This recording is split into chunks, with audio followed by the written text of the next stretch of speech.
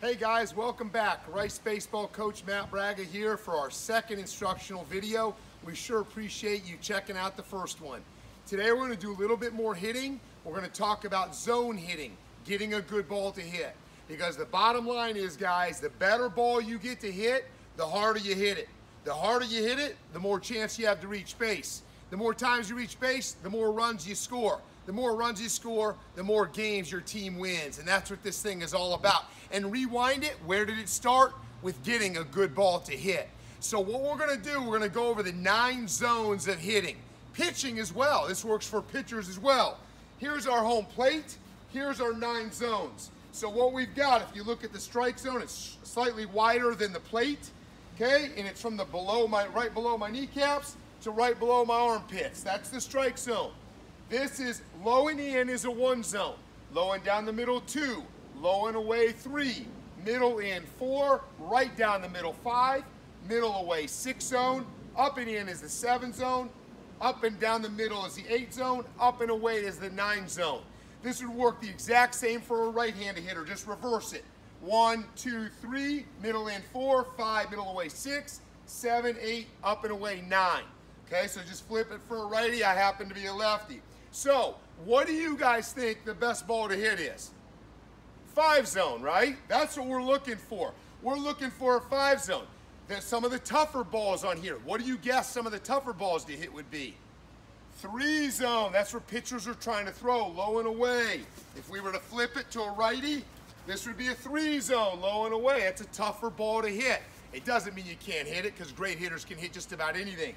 But that's what they're trying to make you hit some of these tough balls. We want to look five, six, four in this middle area. So the first drill we're going to do, as a hitter, I'm going to flip short toss. We're using baseballs, but you can use wiffle balls in the driveway again. You can do anything you want. The first drill, Luke's going to come up and hit our son, and he's going to swing, and after he swings, he's going to tell us what zone he hit, or what zone he took, or if it's just a ball, and he won't even call the zone at all. Okay, let's get busy with drill number one, calling the zone short toss. Okay, so let's review. Luke's is a left-handed hitter like I am, so low and in is a one zone. Down the middle, low two, low and away three, middle in four, right down the middle five, middle away six zone, up and in seven, up and down the middle eight, up and away is the nine zone. Here we go, let's get to work. So here we are, I'm just doing front, front flip short toss, calling the zone short toss is the name of the drill slash game. Here we go, Luke's gonna call the zone. Out. Set out. Four zone. Six zone. Six zone. Four zone. One away. Three zone. Six zone. Might have been out.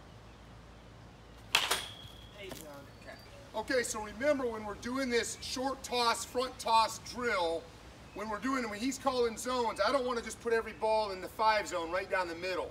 I want to throw some balls, kind of like a real game. I want to throw some up. I want to throw some down. I want to throw some out. I want to throw some in. Okay? And he may take in. He may take out if he's not looking for that. That's okay. He is just calling the zone of where the ball is at. But we never want to take a five zone or five six or four five. Let's go. Okay, the next drill, actually a game that we're going to play is called 12 ball. What you're looking to do on 12 ball, if you hit every ball hard, you get 12 cuts. If you do not hit a ball well, roll over it, pop it up, hit it weakly into the ground, just don't hit it well, it's an 0 for 2. So you're going to start with 12 and we're going to count down to 0. Hit it well, you're at 11. Hit it well again, you're at 10. Hit it well again, you're at 9. Next ball, you don't hit well, you're at 7. Next ball, you don't hit well, you're at 5. So I think you get the idea. So if you go good all round, you're going to get 12 cuts, which is awesome. If you do as bad as you can do, you're only going to get six cuts because it's 0 for 2 down from 12 every time. Now, as a hitter, What you're looking for in this drill, remember five zone down the middle, you're looking for five zone expanded. A little bit into the, all the other zones, but specifically looking to hit the five zone. As a coach, I might try to make you chase some balls not in the five zone. Let's get to work with 12 ball. All right, 12 ball live. He's starting with 12. He's down to 11. That was a good swing. Good. He's down to 10. Good swing. Good. He's down to 9. Good swing. Good. He's down to 8. Roll over this one. Miss this one. Okay, that would be down to 6. It would be an 0 for 2. That's 12 ball. You want to maximize your cuts and get 12 swings in the batter's box. Get it done. Our final drill of the day slash game, because it absolutely is a game, is called How Good Are You? And what you're looking to do in this drill is you call the field. So if you want to hit the ball to left center, you say, Coach, left center. And so think about it, a left-handed hitter in order to hit the ball to left center, is looking 5-6 zone, middle away. If you want to hit the ball to right center, you say right center. Now the hitter's looking 4 to 5 zone, middle in. If it's not in those areas, don't swing. We don't want you to hit a 6 zone to right center or a 4 zone to left center. So on a pitch where you can hit a ball. If you're trying to go back up the middle, you're looking for a 5 zone expanded, which we just went over in the last drill, 12 ball. Our hitter is going to yell out where he's going to hit the ball because when you say you're going to do something, it happens more often than if you don't say it. So he's going to tell me what he wants. If he hits his spot, he'll move to another field. If he happens not to hit where he said he's going to hit it, he has to repeat that field until he gets it and then he moves on. Let's get to work. How good are you? Left center. Good. Move on. Center. We'll take it. Move on. Right center. Ball's away. He doesn't want to hook around it to get right center. He's going right center again. Good. Center. Good. Left center.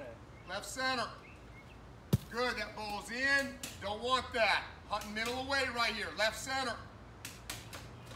Good. All right, guys. Hey, that's it for today. Thank you so much for joining us. So appreciate you. Hey, what we've got on Thursday, we're going to do it all over again at 1 o'clock. Same place, same time, same channel, all that good stuff with one of our assistant coaches from Rice, Paul Janish. This guy played in the big leagues like nine and a half years, guys. He, I think he's going to do some infield instruction, if I'm not mistaken. And he was amazing with that glove. So tune in Thursday to see Coach Janish as well. You guys take care and have a great night.